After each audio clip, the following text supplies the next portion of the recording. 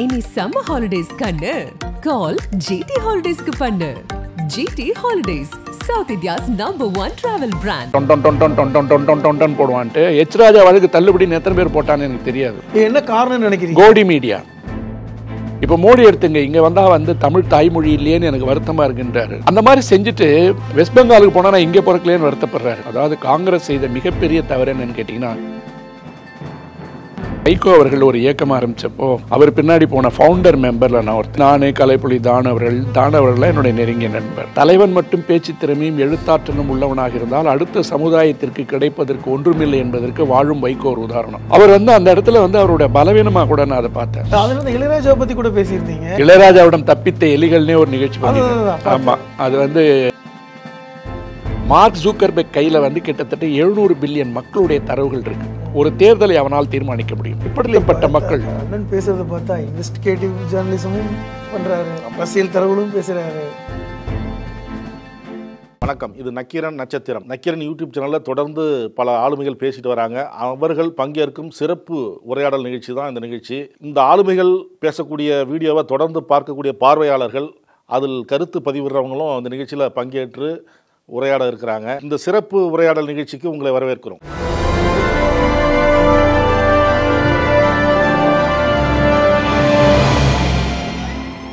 இந்த சுற்றுலா மனிதநேய மக்கள் கட்சியின் மாநில அமைப்புச் செயலாளர் எழுத்தாளர் புதுமடம் ஹலீம் அவர்கள் இணைகிறார். அவரை வரவேற்போம். வாங்க சார். இரண்டு பேருமே நடப்பு அரசியல் குறித்து தீவிரமாக பேசக்கூடியவர்கள். அதுவும் ஹலீம் சார் சார் சொன்ன மாதிரி தரவுகளோடு பேசுவார். அவர் பேசுகிறது வந்து பாஜக எதிர்த்து கடுமையாக விமர்சனம் பண்ணுவார் ஹலீம் சார். அதே போல் தான் பாலு சாரும். ரெண்டு பேரும் ஒத்த கருத்து உடையவர்கள். அதனால தான் இந்த நிகழ்ச்சியில் இணைஞ்சிருக்கிறாங்க சாரோட வீடியோ பார்த்துருப்பீங்க. இல்லை நிறைய பார்த்துருக்கேன். அப்படின்னு சொல்லலை. அப்பப்போ பார்ப்பேன். அதான் உண்மை. நேற்று உங்களை பற்றி பேச வேண்டும் என்பதற்காக உங்களுடைய எல்லா வீடியோவும் பார்த்தேன். எனக்கு என்ன ஆச்சரியம்னா நீங்கள் எந்த சப்ஜெக்ட்டுமே விட்டு வைக்கல. இளையராஜாவை பற்றியும் பேசுகிறீங்க சத்குருவை பற்றியும் பேசியிருக்கீங்க. இங்கே பார்த்தா வந்து சனாதனத்தை எதிர்த்து பேசிகிட்டு இருக்கீங்க. மோடியை வந்து நான் தான் நினச்சேன் கிழிச்சு தொங்க விடுவேன். கோர்ஸ் மைனர் இருக்கார். ஆனால் நீங்கள் உங்களை மிஞ்ச ஆள் இல்லாத அளவுக்கு பார்த்தீங்கன்னா அந்த நீங்கள் தொங்க விட்டுருக்கீங்க. ரொம்ப சிறப்பான ஒரு விஷயம் நான் என்ன பார்த்தேன்னா உங்கள்கிட்ட தரவுகள் தான். அண்ணன் சொன்ன மாதிரி தான். எப்படி இவ்வளவு தரவுகளை வந்து நீங்கள் மடை திறந்து போல பேசுனீங்கன்னு எனக்கு தெரியல. கட கட கடன்னு கொட்டுறீங்க. ரொம்ப ஆச்சரியமான விஷயம் நான் பார்த்தேன். நீங்கள் கூட சொன்னீங்க இது வந்து எனக்கு தொழில் இல்லை அப்படின்னு சொல்லிட்டு. தொழிலாக இருந்தால் ஒருவேளை அப்படி வாய்ப்பு இருந்து இல்லாமல் போயிருந்துருக்கலாம். உங்களுக்கு வந்து நடப்பு அரசியலை எனக்கு தெரிஞ்சு உங்கள் வீடியோ தி- தினமும் பார்த்தாவே நடப்பு அரசியல் தெரிஞ்சிடும் போல. அந்த அளவிற்கு சிறப்பாக இருந்தது பார்த்தேன். பொதுவாக வந்து எங் இது இஸ்லாமிய பார்வையில் சொல்லுவாங்க மூன்று விஷயங்கள் வந்து நிலையான தர்மம் அப்படின்னு சொல்லுவாங்க. நீங்கள் உங்களுக்கு கடவுள் நம்பிக்கை இருக்கான்னு தெரியல. அதில் முக்கியமானது என்னென்னா ஒரு ஒரு மரணிச்சதுக்கு அப்புறம் பெற்றோருக்காக ஒரு குழந்தை வந்து பிரார்த்தனை பண்ணால் அதை ஏற்றுக்கொள்வார்கள் கடவுள் ஏற்றுக்கொள்வார் அப்படின்னு இஸ்லாமிய நம்பிக்கை. இரண்டாவதாக அந்த காலத்தில் சத்திரம் சாவடிலாம் கட்டி வச்சுட்டு போனாங்க. அது வந்து ஒரு நிலையான தர்மம் தான். போகிற வழியில் வழிப்போக்கர்கள் தங்கிக்குவாங்க அல்லது அனாதைகளுக்கு வந்து உணவு கொடுப்பாங்க. இதெல்லாம் நிலையான தர்மம். மூன்றாவதாக சொல்லப்பட்ட விஷயம் தான் முக்கியமானது கல்வி. நாம் கற்றுக்கொண்ட விஷயத்தை சமூகத்துக்கு நீங்கள் கொட்டிட்டு போகணும். நம்ம சொல்லிட்டு போகிற விஷயத்த நம்ம காலத்துக்கு அப்புறமும் இன்னொருத்தர் சொல்லிக்கிட்டு இருப்பாங்க பாருங்க. அது ஒரு நிலையான தர்மம் அப்படின்னு சொல்லுவாங்க. சொல்லுவார் சார். அப்படியா? இது வந்து அரபில சதக்கத்துல் ஜாரியான்னு சொல்லுவாங்க. இது ஒரு வார்த்தை. இந்த நிலையான தர்மத்தின் அடிப்படையில் நீங்க பேசுறீங்களோன்னு எனக்கு நேற்று பேசும்போது தோணுச்சு. அந்த அளவிற்கு தரவுகள். இன்றைய காலகட்டத்தில் வந்து ஊடகத்தில் எது உண்மை பொய்னே தெரியாது. அதுக்கே ஃபேக்ட் செக் பண்ண வேண்டிய- வேலை இருக்கு இன்னைக்கு. சொல்லப்போனால் தமிழ்நாடு அரசு தான் முதல் முறையாக ஃபேக்ட் செக் அவார்டே கொடுத்தாங்க. அந்த அளவுக்கு இன்னைக்கு ஊடகத்தில் வந்து தரவு தரவுகள் வந்து தவறும் தப்பும் தவறுமாகத்தான் இருக்குது. அது மைனர் போன்றவர்கள் தான் எடுத்து எடுத்து காமிச்சிக்கிட்டு இருக்காங்க வேலையை பண்ணிகிட்டு இருக்காங்க. ஆனால் உங்கள் இதில் எல்லா தரவுகளும் பர்ஃபெக்டாக இருக்குது அதுதான் ரொம்ப முக்கியமானதாக நான் பார்த்தேன். ராஜவேல் சார்ட்ட பேசும்போது கூட அதான் சொன்னேன். எப்படி இத்தனை தரவுகளை சரியாக அப்படி பேசிகிட்டு இருக்காரு அப்படின்னு சொல்லிட்டு. இது ரொம்ப ஆச்சரியமாக நான் பார்த்தது அதாவது முதலில் வந்து நான் நக்கீரனுக்கு நன்றி சொல்லணும். என்னை வந்து அடிப்படையில் ஒரு வழக்கறிஞனாக இருந்தாலும் கூட கிராமத்தில் படித்தவன் என்னை வளர்த்தெடுத்தவர்கள் வந்து ஆசிரியர்கள். அந்த ஆசிரியர்கள் சொல்லிக் கொடுத்த தமிழ் ஆங்கிலம் கூட பார்த்தீங்கன்னா தமிழ் எழுதி தான் படிப்போம். அப்படி ஒரு தாழ்வு மனப்பான்மையிலே தான் வளர்ப்பாங்க. இருந்தாலும் இப்போது வந்து நான் நிறைய எல்லாருக்கும் தெரிஞ்சிருக்கும் மீடியாவில் வந்து நான் சைபர் கிரைம் தான் மெயினாக பண்ணிகிட்ருப்பேன் இணைய வழி குற்றங்கள் சம்மந்தப்பட்டது தான் என்னுடைய ஒரு பொழுதுபோக்கு என்று சொல்வதை விட அதை தமிழில் தமிழ்நாட்டிற்கு அறிமுகப்படுத்தினது வந்து நான் தான்.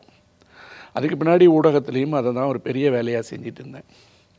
என்னை இந்த பக்கம் அரசியல் பார்வைகள் வந்து எனக்கு எப்பவுமே உண்டு. உண்டு என்பதை விட எனக்குள்ள இருக்கிற அரசியல் எனக்குள்ள ஓடிக்கொண்டிருக்கின்ற ரத்தம் என்பது ஒரு திராவிட ரத்தம். அதனால் யாராலையும் அதை மாற்ற முடியாது. இங்கே ஒரு முப்பது முப்பத்தஞ்சு பர்சன்ட்டை வந்து அவங்க என்ன விஷப்புகை போட்டால் கூட நடக்காது. அது ஃபீனிக்ஸ் பறவை மாதிரி சாம்பல்லேருந்து எந்திரிக்கும். அப்படிப்பட்ட ஒரு ஆள். ஆனால் ஒரு தீவிரமான அரசியல் வந்து என்னுடைய தன்மைக்கு ஒத்துக்காதுன்றதுக்காக கொஞ்சம் ஒதுங்கி இல்லை அதுதான் நான் கேட்க நினச்சேன். உங்களுடைய தரவுகளுக்கு நீங்கள் வந்து ஒரு தீவிர அரசியலுக்கு வந்திருக்க வேண்டிய ஒரு நபராக தான் நான் பார்த்தேன். அது எப்படி நீங்கள் வந்து அதை நீங்கள் அதை விட்டுட்டு. இருந்திருக்கிறார். ஆ. அரசியல் திராவிட அரசியல் அரசியல் உள்ளார. அதாவது என்னுடைய திருமணத்துக்கு வந்து கலைஞர் வந்து ஒரு விருந்தினராக வந்தார். அவருடைய தலைமை கிடையாது விருந்தினராக வந்தார். பின்னாடி வந்து அதை கூட ஒரு செய்தியாக சொல்லணும்னு நினைக்கிறேன். அதாவது வைகோ அவர்கள் ஒரு இயக்கம் ஆரம்பித்தப்போ அவர் பின்னாடி போன ஃபவுண்டர் மெம்பரில் நான் ஒருத்தன். அந்த ஃபவுண்டர் மெம்பர்னா அந்த கட்சியை உருவாக்கிய குழு ஒன்று இருந்தது. அப்போ வந்து நான் கலைப்புலி தான அவர்கள் தான அவர்கள்லாம் என்னுடைய நெருங்கிய நண்பர். நாங்களாம் அதில் இருந்தோம். ஆனால் அவருடைய அரசியல் பயணம் மாற மாற அது வந்து இன்னைக்கு ஒரு பெரிய பாடமாயிடுச்சு. அதாவது தனக்கு கீழ் இருக்கின்ற தலைமையை சரியாக உருவாக்காமல் தலைவன் மட்டும் பேச்சு திறமையும் எழுத்தாற்றலும் உள்ளவனாக இருந்தால் அடுத்த சமுதாயத்திற்கு கிடைப்பதற்கு ஒன்றுமில்லை என்பதற்கு வாழும் வைகோ ஒரு உதாரணம். தனக்கு பின்னால் இருக்கிற சமூகத்தை வந்து அவர் வளர்க்கலன்றது அவர் மேலே இருக்க குற்றச்சாட்டு என்பதை விட அவர் வந்து அந்த இடத்துல வந்து அவருடைய பலவீனமாக கூட நான் அதை பார்த்தேன். அதாவது இது இது வந்து நான் குறை சொல்வதற்காக ஏன்னா சொல்ல அவரே வந்து அது போன்ற ஒரு குற்றச்சாட்டை சுமத்தி தான் வெளியே வந்தார். இல்லை வந்தவர் என்ன பண்ணிட்டார்? இன்னைக்கு கட்சியை வந்து கடைசியில் எங்கே கொடுத்துருக்காருன்னு பாருங்க. அது அவங்க கட்சி உள்கட்சி விவகாரம். நான்லாம் வெளியில் தொண்ணூற்றி நாலுலேயே வந்துட்டேன். வந்து ஜெயலலிதா கூட வந்து கூட்டுன்னு என்னைக்கு சொன்னாரோ அவர்கிட்ட நேரடியாக போய் சொல்லிட்டு வந்துட்டேன். அண்ணன் இது என்னுடைய வழி இல்லை. ஒரு பைபாஸ் ரூட்டில் போய் ஜெயலலிதா வாழ்கன்னு சொல்கிறத விட நேராக போய் வாழ்கன்னு சொன்னால் அதிமுகவில் சேர்ந்துடலாம். ஆதாயம் அதிகம். அப்படின்னு சொல்லிட்டு வந்த பிற்பாடு எனக்கு அரசியல் ஈடுபாடு வரல. அது காரணம்னா ஒரு பக்கம் தொழில் அப்புறம் சென்சார் போர்டில் ஒரு ஆறு ஏழு வருஷம் மெம்பர் வந்து கிட்டத்தட்ட ஒரு இரநூறு இரநூத்தம்பது படம் பண்ணேன். அப்புறம் கொஞ்சம் என்னுடைய இலக்கிய ஆர்வம் இசை ஆர்வம்லாம் வேறு பக்கம். இசையாரும் உங்களுக்கு இருக்கு? கண்டிப்பாக அதில் இந்த இளையராஜாவை பற்றி கூட பேசியிருந்தீங்க. இளையராஜாவிடம் தப்பித்த எலிகள்னே ஒரு நிகழ்ச்சி. ஆமாம் அது வந்து அந்த இசை என்பதை வைத்துக்கொண்டு நம்மளெல்லாம் எலி மாதிரி கொண்டு போய் எப்படி கங்கை ஆற்றுல இறக்க பார்த்தாருன்னு ஒன்று போட்டிருப்பேன். அந்த வீணையை தூக்கிட்டு வந்தார்ல. முந்தா நாள் மோடி வந்து இந்த மாதிரி பேசியிருக்கிறாரு. நான் வந்து இந்து முஸ்லீம் பற்றியே பேசலை. அந்த மாதிரி பேசியிருக்காருன்னு நான் சில பாயிண்ட்ஸ்லாம் எடுத்துகிட்டு போகிறேன் அதெல்லாம் தூக்கி ஓரமாக போட்டுட்டாரு. நான் அதை பற்றிலாம் பேசல. சினிமாவை பற்றி தான் ராஜா பார்வையில் ஒரு பாட்டு இருக்குன்னு அதை பற்றி தான் பேசுவேன். அது காரணம் என்னன்னா அந்த மாதிரி வரும்போது வந்து எனக்கு அது அதிலிருந்து ஒதுங்கினேன். இப்பவும் கூட அப்படி ஒரு தலைமை மீது எனக்கு உங்களுக்கு ஒரு சந்தேகம் எனக்கு ஏற்பட்டுச்சு பார்க்கும் பொழுது இப்போ நீங்கள் சினிமா துறையில் ரொம்ப ஆர்வமான ஆள் அதனுடைய நுணுக்கங்கள் தெரிந்த ஒரு நபர். அரசியலும் தெரியுது. இப்போ எல்லா பக்கத்துலேயுமே இருந்துட்டு ஒரு ஏதாவது ஒரு இப்போ சினிமாவுக்குள்ளே போயிருந்தீங்கன்னா ஒரு பெரிய இயக்குனராகவோ அல்லது ஒரு பெரிய கதாசிரியராக இருப்பீங்களோ இல்லை அப்படிலாம் போயிருந்தா என்னை மடமாற்றி விட்டுருப்பாங்க. அதாவது சினிமாவுக்குள்ளே போனால் அதுக்கு சில காம்ப்ரமைஸ் இருக்குது அந்த காம்ப்ரமைஸ் இல்லாமல் அங்கே இருக்க முடியாது. அரசியல்னு சொல்லி போனீங்கன்னா கொஞ்சம் அடிபணிதல் வேணும். ஸோ எங்கேயுமே நீங்கள் வந்து இல்லை நான் அது அப்படி சொல்லலை. எனக்கு தொழில் மீது வந்து ஒரு சின்ன ஈடுபாடு இருக்கும்போது அந்த படிப்பார்வம் ரொம்ப அதிகம். அப்புறம் அந்த அப்சர்வேஷன் வந்து எனக்கு கொஞ்சம் உண்டு. இது கிராமத்தினுடைய பயிற்சி. அப்படி வரும்போது சும்மா எல்லாரும் சொல்லுவாங்க என்னால் எங்கேயும் பணிஞ்சு போக முடியாதுன்னு. அந்த அரசியலுக்கு உண்டான பக்குவத்தை நான் வளர்த்து கொள்ளவில்லை என்பது என்னுடைய பலவீனம். எல்லாரும் என்னுடைய நண்பர்கள்லேருந்து எல்லாம் சொல்லுவாங்க நீங்கள் குறிப்பிட்ட கட்சிக்கு வந்து சார்பு நிலையில் தான் இருக்கிறீங்க. இதே நீங்கள் பாருங்கள் நான் இந்த நிகழ்ச்சி வந்து மூணு வருடத்துக்கு முன்னாடி ஆரம்பிச்சதுக்கு காரணமே ஜக்கி வாசுதேவ் தான். ஜக்கி வாசுதேவ் வந்து இருக்கும்போது சகோதரர் பிடிஆர் பழனிவேல்ராஜனை பற்றிய ஒரு மட்டரகமான விமர்சனத்தை நம்ம எச்ராஜா வச்சார். இன்றைக்கி பாருங்கள் அந்த எலெக்ஷன் இதில் வந்து ப்ரூட்டஸ் கூட கவனிச்சார் என்னன்னு தெரியல. ஆனால் இருபத்தி நாலு மணி நேரம் ப்ரோக்ராம் போடுறவர். சுப்ரீம் கோர்ட்டில் போயிட்டு எச்ராஜாவுடைய வழக்கு தள்ளுபடி செய்யப்பட்டு விட்டது. அவர் பேசிய நான்கு ஐந்து வழக்குகள் அவர் மீது போடப்பட்ட வழக்குகளை வந்து தள்ளுபடி பண்ணணும்னு சொல்லிட்டு குவாஷ் பண்ணணுன்ட்டு ஹைகோர்ட்டில் போய் பெட்டிஷன் போடுறாரு. சென்னை உயர்நீதிமன்றம் சொல்லுது நீங்கள் இதே ஒரு தொழிலாக வச்சுருக்கீங்க. யாகாவராயினும் நாகாக்கன் திருக்குறளை போட்டு தான் அந்த தீர்ப்பை முடித்தாங்க தீர்ப்பை முடிச்சு நீங்கள் தொடர்ந்து இதே மாதிரி பேசிக்கிட்டு இருக்கிற பழக்கம் இருப்பதனால இந்த வழக்கை தள்ளுபடி செய்ய முடியாது. நீங்கள் போய் ட்ரையலை எதிர்கொள்ளுங்கன்னு போட்டாங்க. அதுக்கு மேலே சுப்ரீம் கோர்ட் போகிறாரு சுப்ரீம் கோர்ட் அதே அப்சர்வேஷனோட தான் அந்த கேஸை தள்ளுபடி பண்ணியிருக்கு. இப்போ வந்து மறுபடியும் வந்து ஒரு கோர்ட்டுக்கு நிற்க வேண்டிய நிலைமை. ஒரு உயர்நீதிமன்றம் வந்து அவருடைய மனநிலையை பரிசு பரிசோதிக்கணும்னு சொன்னுச்சு. இல்லை ஏற்கனவே உயர்நீதிமன்றமே சொன்னாங்க. அதை தான் சொல்கிறேன் உயர்நீதிமன்றம் சொன்ன இப்போ சுப்ரீம் கோர்ட் தள்ளுபடி பண்ணிட்டு இதையே இப்போ ஒரு உதயநிதிக்கோ ஒரு ஸ்டாலினுக்கோ அல்லது ப்ரூட்டஸுக்கோ நடந்திருந்தா இது இருபத்தி நாலு மணி நேரமும் செய்தி ஓடும். நான் சொல்லுவேன் இல்லை அந்த பரபரப்பு செய்திகள் ஒரு மியூசிக் போட்டோம்ல இன்றைக்கி டொன் டொன் டொன் டொன் டொன் டொன் டொன் டொன் டொன் டொன் போடுவான்ட்டு எச் ராஜா வழக்கு தள்ளுபடின்னு எத்தனை பேர் போட்டான்னு எனக்கு தெரியாது. என்ன காரணம்னு நினைக்கிறீங்க? கோடி மீடியா. என்னுடைய நிகழ்ச்சியை தொடர்ந்து பாருங்க. பிஜேபி என்ற அரசியல் கட்சிக்கு there is a space in politics அரசியலில் அவர்களுக்கு என்று ஒரு இடம் இருக்கிறது. அதை நாகரிகமாகவும் பண்பாட்டோடாகவும் மக்களுடைய அனைத்து கலாச்சாரங்களையும் ஏற்றுக்கொள்ளுபவர்களாகவும் மொழி பண்பாடு இலக்கியம் என்று வருகின்ற பொழுது அவங்கவுங்களுக்கு உண்டானதை கொடுக்கணும். இப்போ மோடி எடுத்துங்க இங்கே வந்தால் வந்து தமிழ் தாய்மொழி இல்லையேன்னு எனக்கு வருத்தமாக இருக்கின்றாரு. அழுவுறேங்கிறாரு. எனக்கு தமிழனா பிறக்கலையேன்னு எனக்கு வந்து வருத்தமாக வேட்டி இருக்குது. கட்டிட்டு வருவாரு. ஆமா பிறக்காத பிறக்காத வயிறெல்லாம் கொச்சப்படுத்துறாரு. அந்த மாதிரி செஞ்சுட்டு வெஸ்ட் பெங்காலுக்கு போனால் நான் இங்கே பிறக்கலையேன்னு வருத்தப்படுறாரு. பிரச்சாரத்தில் அவர் என்ன பண்ணுறாரு பாருங்க காங்கிரஸ் கட்சி அவர்களுடைய தென்னாட்டினுடைய தோழர்களை ஏன் கேள்வி கேட்கவில்லை? அவர்கள் இந்தியாவினுடைய பிரிவினை பற்றி பேசுகிறார்கள் மொழி அரசியல் பற்றி பேசுகிறார்கள் சனாதனம் பற்றி பேசுகிறார்கள்னு ஒரு பிளவுவாத அரசியலை பிரதமரை முன்னின்று நடத்துகிறார். முக்கியமாக ஒன்று சொன்னார். அயோத்தி கோயிலை வந்து இவங்க புல்டோசர் வச்சு இடிச்சிருவாங்க. யா அதாவது புல்டோசரை எப்படி பயன்படுத்த வேண்டும் என்று யோகிட்ட கேளுங்கன்னு சொல்றாரு. இது வந்து சேம் சைட் கோல் ஒரு வாட்டி உலக கோப்பை நடந்துட்டு இருந்தப்போ ஒரு வெளிநாட்டு வீரன் வந்து பாரில் உட்காந்து பேசிட்டு வந்து சுட்டுட்டான் அவனை. இந்த சேம் சைட் கோல் போட்டவன். அந்த மாதிரி மோடி வந்து அவர் அறியாமல் பல நேரத்தில் வந்து சப்கான்ஷியஸ்லேருந்து அந்த அந்த உண்மை வருது. ஆழ்மனதில் இருக்கின்ற உண்மையை இந்தியா பூரா இருக்கிற குற்றச்சாட்டு என்னன்னு கேட்டிங்கன்னா அதிகாரம் கைக்கு வந்தால் ஒட்டுமொத்த அதிகாரம் கைக்கு வந்தால் power tends to corrupt absolute power corrupt அப்சல்யூட்லின்னு சொல்லுவாங்க. அந்த ஒட்டுமொத்த அதிகாரத்தை ஒருத்தன் கையில் கொடுக்கும்போது அவன் எதேச்சாதிகாரியாக மாறிவிடுவான் அப்படின்னு சொல்லும்போது யோகி யோகி ஆதித்யநாத் அது முன்னால் நின்று நடத்துகிறார் அவர் ஒரு தாக்கூர் சமூகத்தைச் சேர்ந்தவராக இருந்தாலும் கூட தன்னை ஒரு சனாதனத்தினுடைய முன்னோடியாக மோடிக்கு முன்னால் நிற்பவராக அவர் காட்டப்படுகிறார். ஆர்எஸ்எஸ்ஸால் அப்போ அந்த இடத்துல ஒரு பிரதமரே போய் புல்டோசர் வச்சு ராமர் கோயில் இடிச்சிருவாங்கன்னு சொல்கிறது வந்து அநாகரிகம். இன்றைக்கி வந்து ராமர் கோயில் நீங்கள் சரியாக கட்டினீங்களோ தப்பாக கட்டினீங்களோ இஸ்லாமியர்களும் ஒத்துக்கொண்டு உச்சநீதிமன்றமும் ஏற்றுக்கொண்டு தீர்ப்பில் வந்து அந்த இடத்துல கோயில் இல்லை என்று சொன்னாலும் கூட சமாதானத்தினுடைய அடிப்படையில் வந்த ஒரு கோயிலை நீங்கள் சாதாரணமாக வேறு ஒருத்தர் பேசியிருந்தா நேஷனல் செக்யூரிட்டி ஆக்டில் நீங்கள் கேஸ் போடணும். சாதாரணமாக ப்ரூட்டஸோ நீங்களோ நானோ பேசினா என்ன செயல்படும்? என்ன தேச ஒற்றுமை மத நல்லிணக்கத்தெல்லாம் கெடுக்கிறாங்கன்னு சொல்லிட்டு. அந்த இடத்துல அவர் என்ன சொல்றார்? புல்டோசரை எப்படி பயன்படுத்த வேண்டும் என்று யோகி ஆதித்யநாத்தை கேளுங்கள்னார். தவளை வாயில் கெட்டு போச்சா ஒட்டுமொத்தமாக வந்து எல்லோரும் பேசிக்கிட்டு இருக்கிற ஒரு குற்றச்சாட்டுக்கு அவரே சாட்சியாக வந்து நிற்கிறார் அப்போது ஒட்டுமொத்தமாக உலக அளவில் யோகி ஆதித்யநாத் மீது வைக்கப்படுகின்ற குற்றச்சாட்டு அதிகாரம் கையில் இருக்கின்ற காரணத்தினால் உங்களுக்கு ஷோகாஸ் நோட்டீஸ் கூட கொடுக்காமல் எதன் காரணத்தின் பொருட்டு சட்டம் தன் கடமையை செய்கிறது அப்படின்றது கூட பார்க்காம நேராக புல்டோசர் எடுத்துகிட்டு போய் இடிக்கிறது.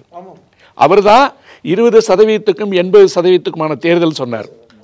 நேரடியாக பேசினவர். ஆனா இன்னொரு குற்றச்சாட்டு சொல்றாங்கல்ல. இப்போ வந்து எல்லா மாநிலங்களிலும் மோடியோட முகத்தை காமிக்கிறாங்க. பாஜக ஆள்கின்ற மாநிலங்கள் தவிர கூட எல்லா மாநிலங்களிலும் மோடி தான் நிற்கிறாரு தேர்தல்னு ஆனா உத்தரப்பிரதேசத்தில் அப்படி ஒரு காட்சி இல்லையே. அதை பத்தி என்ன நினைக்கிறீங்க நீங்க? இல்லை உத்தரப்பிரதேசத்தை பொறுத்த வரைக்கும் ஏன்னா யோகியை தான் முன்னிறுத்துறாங்க அதுக்கு காரணம் என்னன்னு கேட்டீங்கன்னா எங்கேயுமே வந்து காங்கிரஸ் செஞ்ச தவறு அதில் தொடருது. அதாவது காங்கிரஸ் செய்த மிகப்பெரிய தவறு என்னன்னு கேட்டிங்கன்னா இன்றைக்கி காங்கிரஸ்லேருந்து பிரிஞ்சு போனவங்க எல்லாருமே பாருங்கள் அந்த கட்சியில் இருக்கிற பதவியில் இருக்கிற அத்தனை சுகங்களையும் அனுபவித்து கொண்டே ஆர்எஸ்எஸ்னுடைய ஏஜென்ட்டாக வேலை பார்த்தவனா இருப்பான் பிரணாப் முகர்ஜிலேருந்து இவ்வளவு விஷயங்களை எப்படிங்க நீங்க வந்து எனக்கு பொதுவா இப்ப தரமற்ற பேச்சுக்கள் தான் இந்த சமீப காலங்களில் நான் பார்க்குறேன் இப்படி தரவுகளோட தரமா பே ஒவ்வொரு நாளும் இதற்காக நீங்க வந்து நேரம் செலவழித்து நேரம் செலவழிக்கிறது அல்லது வந்து இயற்கையாவே உங்களுக்கு இந்த தரவுகள்லாம் எப்படி தெரியுது? இது இது வந்து நமக்கு வந்து என்னன்னு கேட்டிங்கன்னா படிக்கும்போது அதை போய் ஒட்டிக்க உள்ளார. அந்த ரெலவன்ஸ் வரும்போது எனக்கு ஞாபகம் வந்துடும் என்னுடைய ஒரே ஒரு லட்சியம் நான் கட்சியில் இருக்கிறனோ இல்லையோ எனது சிந்தனைகள் என்னுடைய கருத்துக்கள் இந்த சமூகத்திற்கு என்னால் எவ்வளவு தூரம் கடத்த முடியும்? ஆனா உங்க சிந்தனைகளையும் தரவுகளையும் நக்கீரன் வந்து பிளாட்ஃபார்ம் வந்து அருமையா பயன்படுத்தி அவங்களுக்கு அவங்களுக்கு வந்து நான் என்ன எனக்கு தெரிந்து உங்களுடைய அந்த சிந்தனைகளை வந்து இளைய தலைமுறைக்கு கடத்தின வேலையை வெற்றிகரமாக நக்கீரன் செய்திருக்கிறது. அதுதான் நான் உண்மையிலே பாராட்டணும். ஏன்னா இது போன்ற வந்து சிந்தனைவாதிகள் வந்து வெளியே தெரியாம இருந்தாங்க. அதை முழுமையாக பயன்படுத்தியது நக்கீரன்.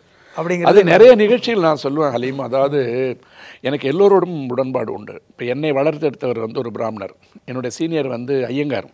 இருந்தாலும் வந்து அவருக்கு அந்த கோட்பாடுகள் நம்பிக்கை கிடையாது பூணல் போடாதவர்.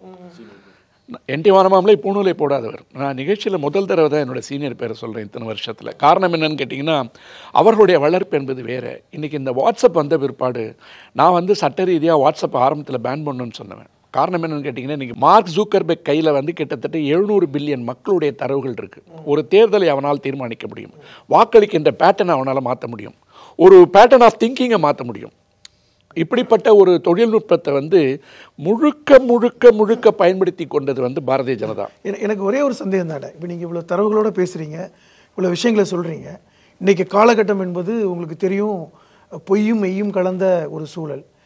இதை வந்து இப்போ நம்ம நேர்மையாக இந்த விஷயங்களை வந்து இந்த சமூகத்துக்கு வந்து இதன் அடிப்படையிலே பேசிட்டு போகணுமா?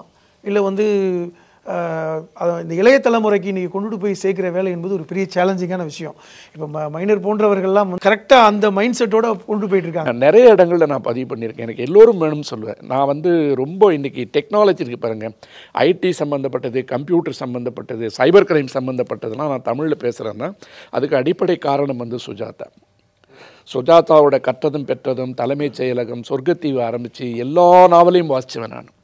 அந்த காலத்தில் பல இடங்கள்லேருந்து அவர் எடுத்து போட்டாலும் கூட அதை தமிழ்படுத்தியது என்பதில் சுஜாதாவுக்கு வந்து ஒரு பெரிய இடம் இருக்குது ஆனால் அவருடைய பல கோட்பாடுகள் வந்து விமர்சனத்துக்கு உண்டானவை. அவருடைய பார்வைகளில் வந்து நம்ம நிறைய இடங்களில் வித்தியாசப்படுறோம்.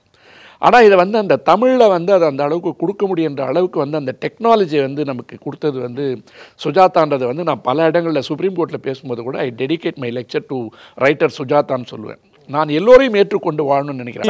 பேசும்போது பார்த்தீங்கன்னா அது வந்து ஒரு முடிவே இல்லாத ஒரு இது இது இதுக்கு காரணம் என்னன்னு கேட்டிங்கன்னா எனக்கு இப்போ நக்கீரன் வந்து எடிட் பண்ணாதால இது ஃபுல்லாக வந்துடுது நான் வேற மீடியாவுக்கு பேசினா கட் பண்ணுவேன் இதை. இது மாற்றுக்கிறது கிடையாது. மாற்றுக்கிறது கிடையாது இது. உண்மை. இந்த உண்மையை நீங்க எப்படி மறுக்க முடியும்? நடுவில் நான் உள்ள பூந்தனே என்ன குதறிடுவார். நம்ம நம்ம இல்ல எனக்கு தெரிஞ்சு இந்த சமகாலத்துல நானும் மீடியால தான் இருக்கேன்.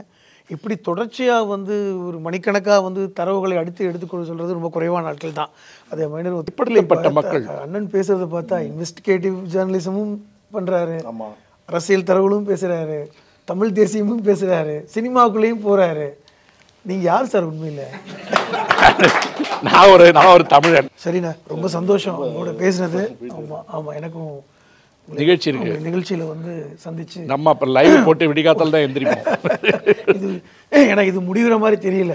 இது இத்தனை நான் சொன்ன இல்ல இல்ல. இத்தனை சங்கதிகளும் இத்தனை சங்கதிகளும் இந்த நக்கீரன் வழியாக கிட்டத்தட்ட ஒரு இரநூறு நிகழ்ச்சிகள் வந்து இன்னைக்கு பண்ணிட்டோம். இதை எல்லாம் வந்து நான் தொடர்ந்து இந்த ஒரு சேனலுக்கு தான் பண்ணிகிட்ருக்கேன். இருக்கேன் இந்த ஒரு சேனலுக்கு பண்ணது காரணம் என்ன கேட்டிங்கன்னா என்கிட்ட நிறைய பேர் வந்து அப்ரோச் பண்ணாங்க கேட்டாங்க. அங்கே சில விஷயங்கள் வந்து நான் உணர்ந்தேன். என்னென்னு கேட்டிங்கன்னா நான் வந்து முழுசாக பேச முடியுமான்னு ஒரு சந்தேகம்.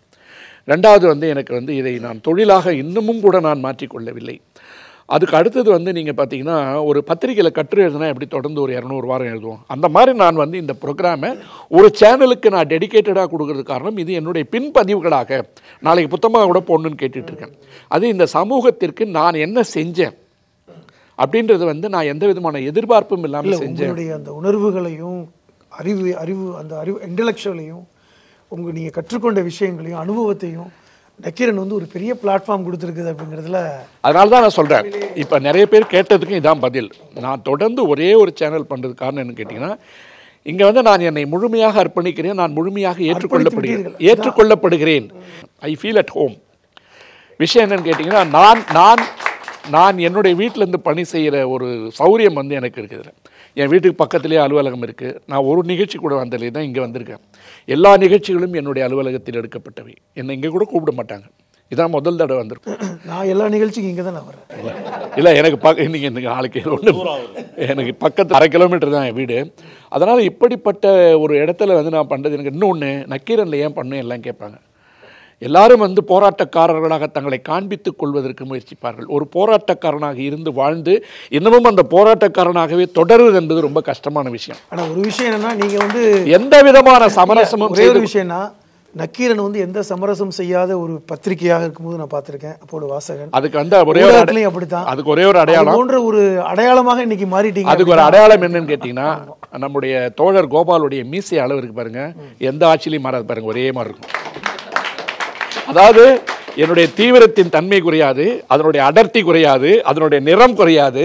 எந்த காரணத்தை முன்னிட்டும் அந்த நிறத்தை மாற்றிக்கொள்வதற்கும் நான் தயாராக இல்லை என்பதை விட இதை தன்னுடைய ஒரு என்ன சொல்றது ஐகான் சொல்லுவோமா? அது தன்னுடைய ஒரு எந்த கட்சிக்காக நீங்க வெள்ளடிக்க போறது இல்ல ஆமா. இல்ல நான் என்ன சொல்றேன்? இப்ப இந்த திமுக குறை தப்பு பண்ணா நம்ம குறை சொல்றது இல்லையா என்ன? அதை நம்ம செய்யலைன்னு சொன்னாதான் நம்ம வந்து இது பண்ணுவோம். திமுக சொன்னாரு நக்கீரன் வந்து நிறைய இடம் கொடுக்குது எனக்கு அப்படின்னு சொன்னாரு. எந்த ஒரு பிரதிபலனும் அவர் எதிர்பார்க்கல. அந்த சமூகத்துக்கு நான் பணியாற்றணும்னு நினைச்சாரு. அதற்காக தான் அந்த இடத்த வந்து நக்கீரன் கொடுத்துருக்கு. எனக்கு நிறைய பேர். இப்ப நம்ம ப்ரூட்டஸ் நிகழ்ச்சியெல்லாம் பார்த்துட்டு கீழே போவேன். இந்த திட்டுற திட்டுக்கெல்லாம் நம்ம வாழவே முடியாது. அந்த அந்த திட்டுற திட்டு இருக்கு அதுக்கு வாழவே இல்ல முடியாது. அந்த திட்டுக்கள் தான் அவருக்கு பெரிய படிக்கட்டு. இல்ல அது திட்ட திட்ட என்னன்னு கேட்டிங்கன்னா திட்ட திட்ட திண்டுக்கல்னும் அல்ல அந்த மாதிரி கமான் கமான் கமான்னு திட்டுக்கண்ணா அடுத்த தரவோட வரேன்னு தோணும். இல்ல அவர் என்ன சொல்லுவார் எனக்கு- எனக்கு ஆரம்பத்துல- என்ன சொல்லுவார்னா என்ன இப்படித்தான் மீண்டும் மீண்டும் அதே வார்த்தை தானா? அப்படிம்பாரு. இன்னும் நிறைய பேசுவோம் சார். இன்னும் நிறைய பேசுவோம் இன்னொரு சந்தர்ப்பத்தில் பேசுவோம். நன்றி, வணக்கம். நன்றி நன்றி நன்றி. சிறப்பு சிறப்பு சிறப்பு. அவங்களோட உயிருக்கு வந்து பாதுகாப்பு தேவைன்னு சொல்லிட்டு ஒரு வாசகர் கமெண்ட் பண்ணியிருக்காரு. மோடியை பற்றி பொய் சொல்லாதீங்க அப்படின்னு சொல்றாரு. மோடியை விடவா நான் போய் சொல்லிட்டு போறேன்? கலைஞரும் ஜெயலலிதாவும் இருக்கும்போது இந்த ஜால்ரா அடிச்சிருந்தேன்னா நான் உட்கார்ந்துருக்க வேண்டிய உயரமே வேற.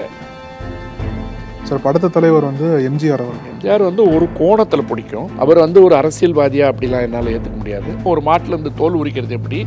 உரிச்ச தோல் எப்படி மிருதங்கமாகுது அந்த மிருதங்கத்தை எப்படியா எச்சு போட்டுட்டு வாசிக்கிறீங்க? ஆனா அது கடவுளாயிடுது. அதை எல்லாம் செய்து கொடுப்பவர்கள் இதை போய் டிஎம் கிருஷ்ணா பதிவு பண்ணா ஒத்துக்க மாட்டேங்கிறீங்க ஜாதி விளக்கம் செய்றீங்க. நக்கீரன் டிவிக்கு சப்ஸ்கிரைப் செய்யுங்கள். உங்கள் ஆதரவே எங்கள் பலம். ஆசிரியர்களுக்கு நண்பனாகவும் மாணவர்களுக்கு ஆசானாகவும் திகழும் தேர்வு வழிகாட்டி. ஒவ்வொரு பாடத்திற்கும் அனுபவமிக்க ஆசிரியர்களின் துல்லியமான தெளிவான விடைகள். சிஎன்சி இருக்கு தேர்வு பயம் எதற்கு? இது தீரன் பப்ளிஷிங் ஹவுஸ் விற்பனை வெளியீடு.